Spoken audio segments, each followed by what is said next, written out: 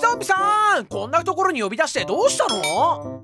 ゾンビ村じゃん。これをどうするの？年末だから大掃除？そもそもなんでゾンビ村を大掃除するのさ？え掃除をしたら村人さんが帰ってくるの？そんなことあるのかな？ゾンビさんが言うなら手伝うよ。お掃除やるぞ。じゃあまずはこの家からか。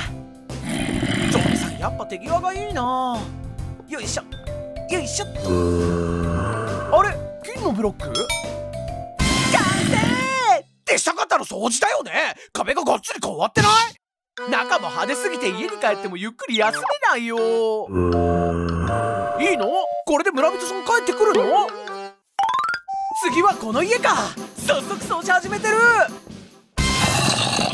えー、今度は壁どころか形以外全部違うんですけど